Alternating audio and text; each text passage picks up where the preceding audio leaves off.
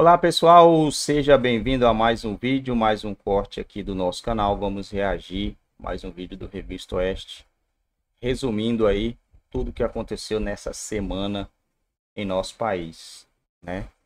Infelizmente, o Barbudinho mais uma vez fazendo caca pela boca, né? Estão querendo legalizar aí é, o aborto no, no país é, nem campanha ele falou que era contra, né? Que não era a favor disso, mas agora tá aí. Eles estão tentando acabar com, com a dignidade do brasileiro de todas as formas, né? Todas as formas. Querem deixar o povo brasileiro na lona. Né? Querem acabar com o caráter das pessoas que ainda têm caráter, né? Porque os canhotos não tem. Esses não tem, eu falo porque eu conheço alguns. E os que eu conheço é zero. Zero, zero, zero, zero. Não tem, gente. Não tem. Nem os que são da igreja. Né? A verdade é essa. Tem muitos lá dentro. Eu sou cristão, então conheço muitos. E nem. Se você tentar puxar a capivara desses aí, vocês vão ver que o negócio é complicado. Com críticas ao ministro Alexandre de Moraes, do Supremo, o deputado federal Eduardo Bolsonaro afirmou em entrevista ao jornalista americano Tucker Carlson, ex-apresentador da Fox News, que a liberdade está comprometida no Brasil depois da eleição do presidente Lula. Questionado por Carlson se considerava o Brasil um país livre, Eduardo Bolsonaro respondeu que não. Ao longo da conversa, o parlamentar disse ainda que pessoas e jornalistas estão sendo censurados no país e que há uma perseguição contra apoiadores de seu pai, o ex-presidente Jair Bolsonaro. Mas para o Brasil, parece que não é mais um país livre. Claro, não mais. Temos de fato pessoas sendo censuradas, não apenas nas redes sociais. Vocês têm pessoas exiladas vivendo aqui nos Estados Unidos. Por exemplo, Vou citar os nomes para não haver dúvida sobre o que estou falando. Rodrigo Constantino, Paulo Figueiredo, Alan dos Santos são três jornalistas vivendo aqui nos Estados Unidos. Porque eles não podem mais exercer suas funções no Brasil. E também porque você realmente sempre corre o risco de ser preso pelo Supremo Tribunal. E para ser honesto, não todo o Supremo Tribunal, mas um juiz chamado Alexandre de Moraes, ele abriu, de fato, uma investigação por mais de cinco anos perseguindo, geralmente conservadores, e esperamos que este ano voltemos ao Congresso dos Estados Unidos com uma delegação maior de congressistas brasileiros para ter uma audiência em uma comissão e contar ao mundo o que está acontecendo no Brasil. Porque no Brasil não vale mais a pena. Você apela. Não tem a quem recorrer. É o Supremo Tribunal processando pessoas. Dizem que são as vítimas, os acusadores e os juízes de todos, sem distinção. Isso realmente não é mais uma democracia. Infelizmente, não posso mais realmente dizer isso. E você não tem onde recorrer ou a quem pedir ajuda, de fato. Impressionante, a gente acompanhou um trecho dessa versão dublada da entrevista aí com o deputado Eduardo Bolsonaro. Ana, como é que repercutiu essa entrevista por aí? Bastante, Paula. Repercutiu bastante e ainda está repercutindo, porque uh, muita gente não tinha a menor ideia do que está acontecendo no Brasil. É, e muita gente assustada, principalmente porque o que está acontecendo no Brasil uh, nós só vemos em regimes totalitários, né? prisões ilegais, prisões inconstitucionais, absoluto desrespeito ao devido processo legal, ao Estado de Direito, Constituição praticamente ignorada, a Constituição que se tornou uh, um organismo vivo, que é aquilo que os próprios americanos aqui eles detestam essa perspectiva, né? O próprio ah, ah, juiz da, da Suprema Corte Americana, Antonin Scalia, sempre pregou e foi muito respeitado, inclusive, por vários juízes e políticos dos dois lados do espectro político aqui, de que a Constituição é um documento morto. Se você quer que ela seja um documento vivo, você tem que voltar para o Congresso e ali você modificar as leis. E isso está absolutamente ignorado no Brasil. Então, uh, Paula, o nome do Daniel Silveira também foi citado nessa entrevista. E quando a situação do Daniel Silveira foi colocada para o Tucker, ele arregalou os olhos e aí disse: Mas espera aí, como é que é um, um, um congressman, né? um deputado foi preso por falar mal do Supremo Tribunal Federal? E o Eduardo ainda respondeu, né? Disse: é, ele usou palavras ríspidas, eu não usaria as palavras que ele usou, e aqui também nós sempre condenamos, né? A maneira como aquele vídeo do Daniel Silveira foi entregue, mas o Eduardo explicou a proteção da Constituição aos parlamentares, né? A, a cláusula que diz né, a proteção pelos votos, pelas ações, pelas palavras enquanto parlamentares, e o Tucker simplesmente disse: mas você pode e deve criticar todas as autoridades. E o próprio Eduardo ali teve que se policiar, e ele disse também: até eu tenho que me policiar para não sofrer uma perseguição exatamente do judiciário. Uma entrevista que está dando muito o que falar. Paula, vários jornais já estão escrevendo artigos sobre isso e questionando o que está acontecendo no Brasil. Agora, talvez com a, a, depois dessa entrevista, a vinda do Eduardo Bolsonaro aqui para os Estados Unidos, talvez abra ainda mais o leque e a fotografia perfeita do que está acontecendo no Brasil, que já é um estado de exceção, né, Paula? Não dá para a gente dourar a pílula ou ficar simplesmente arrumando as palavras para não ferir o que está acontecendo no Brasil. Estamos diante de um estado de exceção porque a Constituição não está sendo respeitada, o Congresso não tem mais autonomia, não tem mais independência, e a entrevista foi muito bem-vinda aqui fora, Paula. Alexandre, o que você destaca aí dessa entrevista com o deputado federal Eduardo Bolsonaro? Bom, só para lembrar, né, artigo 53 da Constituição diz: deputados e senadores são invioláveis por quaisquer palavras. Eu discordo do, do, do, tipo de palavras do Daniel Silveira, mas sinto muito, a Constituição diz que ele é inviolável por quaisquer palavras. A mesma coisa dizendo respeito às palavras do Eduardo Bolsonaro lá com o Tucker. Né? E, e eu, eu, só queria fazer uma, uma, correçãozinha. Ele disse que Alexandre de Moraes criou esse inquérito. Não, quem criou foi o Dias Toffoli. Né? Baseado no regimento interno, como se fora um, uma questão administrativa dentro das dependências do Supremo, e não era, né? que permitiu que ele tomasse a iniciativa. Só que esse artigo do regimento interno foi derrogado pela Constituição de 88, que nos artigos 127 e 129 diz que é essencial o Ministério Público para abrir qualquer inquérito. O juiz não tem iniciativa. A inércia do juiz é, é uma pedra, é pedra de toque. A inércia do juiz. Não foi o caso desse, desse inquérito que Marco Aurélio chamou de inquérito do fim do mundo. Então, quando cita isso, né, e aí a gente lembra de outras coisas, né? É, artigo 220 é desrespeitado, é, é vedado qualquer censura de qualquer natureza. Está lá escrito no 220. Né?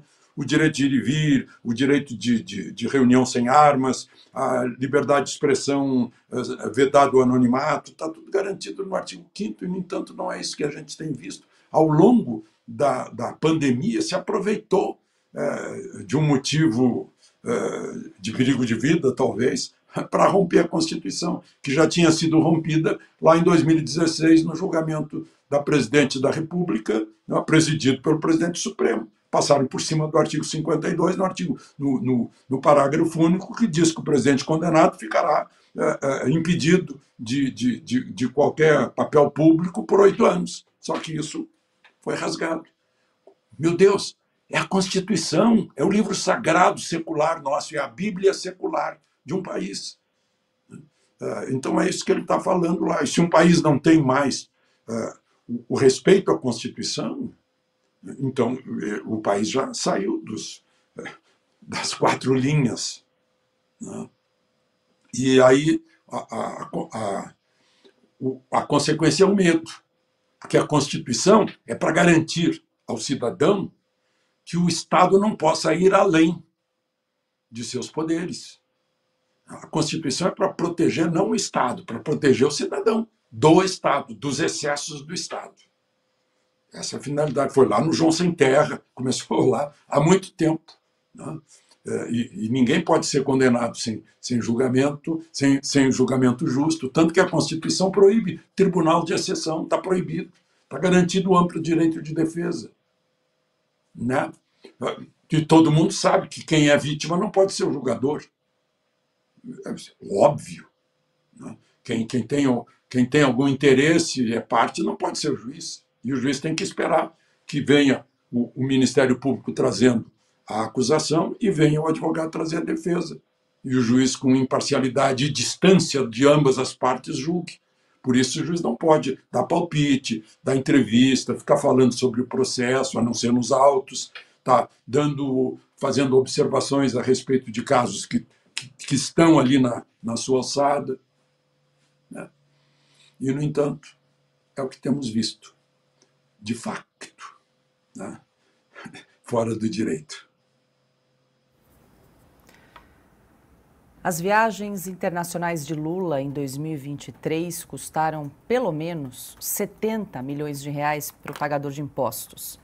Os dados foram obtidos pelo jornal Gazeta do Povo por meio da Lei de Acesso à Informação. Entre os maiores gastos de Lula no exterior estão as viagens para Xangai e Pequim, na China, onde 5 milhões de reais foram desembolsados. Desse valor, um milhão de reais foram consumidos com alocação de veículos e dois milhões em hospedagem. Dubai, nos Emirados Árabes Unidos, onde o presidente participou da COP28 em dezembro, custou quase 4 milhões de reais. Na ocasião, Lula levou uma caravana de 22 deputados, nove senadores e oito assessores. A terceira viagem mais cara de Lula ao exterior no ano passado foi para Paris. A tentativa do chefe do executivo de obter o apoio da França para acordos comerciais com o Mercosul totalizou 3 milhões e 800 mil reais. Bom, Pioto, mas Lula não conseguiu o apoio necessário, e mesmo torrando essa grana toda em Paris, se a gente somar aí todas as viagens internacionais em 2023, pelo menos 70 milhões de reais, dinheiro nosso aqui, pagadores de impostos dinheiro que não volta mais. E se a gente olhar para o resultado dessas reuniões, vamos lá? Na China, lá em abril, que levou inclusive João Pedro Stedley nessa comitiva gigantesca também, que afronta a propriedade privada no Brasil, direito à propriedade privada constitucional, lidera o MST, invasões pelo país, inclusive é um prédio público, há uma área de pesquisa da Embrapa lá em Pernambuco, ah, que destruiu a área de pesquisa da Embrapa e o MST não foi incluído naquele inquérito do Supremo sobre invasão a prédios públicos e depredação de patrimônio público, ainda mais de ciência neste caso. Resultado? Nada. Aliás, na China ainda o presidente disse o seguinte lá atrás, naquele, um, em mais um daqueles comentários desastrosos sobre a guerra na Ucrânia. A guerra só interessa aos dois, fazendo uma falsa equivalência entre a Ucrânia invadida e a Rússia invasora. Algo que ele voltou a repetir. Em Dubai, por exemplo, um pouco antes, na primeira viagem, diz que a construção da guerra foi mais fácil do que será a saída da guerra, porque a decisão da guerra foi tomada por dois países. Puxa vida, de novo o invasor é culpado, de, ah, o invadido é culpado de ser de, de, do invasor. Não, o invasor é o invasor, o invadido é o invadido. É, vale só lembrar que em Paris, como a, a, a, Paula já fez menção, não avançou em nada, na verdade houve retrocesso no acordo em relação ao Mercosul União Europeia. Ele é muito próximo, diz-se muito próximo de Emmanuel Macron. Lula só ignora o básico, que a França não vai assinar absolutamente nada nesse sentido. E foi lá gastar mais dinheiro do contribuinte. Ou seja, uma coisa é o custo financeiro, outra coisa é o custo da imagem do Brasil, que ele só piorou nas viagens deste ano. Porque você se lembra, agora recentemente na Etiópia, Lula disse o seguinte, textualmente, abre aspas, sabe, o que está acontecendo na faixa de Gaza com o povo palestino não existe em nenhum outro momento histórico. Aliás, existiu quando Hitler resolveu matar os judeus Fecha aspas. E agora ele disse que não se referiu ao Holocausto. Ou seja, ou é um esperto tentando enganar todo mundo, ou não leu um mínimo de história. Ou as duas coisas juntas. Ou seja, uma coisa é o custo, que já é altíssimo para o contribuinte. A outra é o resultado ruim de todas essas viagens. Não houve avanço em nada do ponto de vista comercial que seja realmente importante. E a imagem que o Brasil passou da diplomacia brasileira com as declarações de Lula nos dois assuntos, talvez, ou nos três assuntos mais importantes hoje do mundo, a guerra da Ucrânia, a questão de Israel e da faixa de Gaza, e também o interesse do Brasil econômico em relação ao, ao acordo Mercosul-União Europeia Lula só fez retroceder ou causar estragos na imagem da diplomacia brasileira. O custo financeiro que é alto neste caso parece até pequeno. Não é, mas parece até pequeno pelo estrago que Lula causou ao longo dos próximos anos, justamente na imagem do Brasil no cenário internacional. Agora 19 horas 9 minutos e vale lembrar para você que está aqui nos acompanhando que a Oeste lançou um aplicativo Bom, pessoal, é isso aí, né? Infelizmente. A da vez agora, né? A da vez agora é o governinho do aí querendo aprovar a tiração das crianças do ventre das mães. Falando, olha, por que que não pode? Por que? Por que não pode isso? Por que que não... É simples, gente. Eu não sou assim, é aquela pessoa extremista, né? Não pode de jeito nenhum. Não, eu sei que tem exceções. Tem exceções onde a pessoa pode ter sido violentada, onde a pessoa corre risco grave, caso ela tenha, caso ela se queira, né? Queira não, caso ela tenha, sei lá, que dá o tentar dar a luz pode gerar problema de as duas morrerem, a criança e a mãe. Então tem casos que realmente tem que ter, tem que ser feito. Mas na maioria dos casos não. Na maioria dos casos é que ou um ou outro não quer usar o plastiquinho. Porque não sente, porque isso, porque aquilo, né? Tem uma desculpinha, mas tem o plastiquinho, tem o constitucional, tem vários meios aí da pessoa conseguir evitar. Né? Agora, quando é causa de saúde, quando corre risco, não precisa nem. É, é só levar no médico que é feito gra, gratuito, né?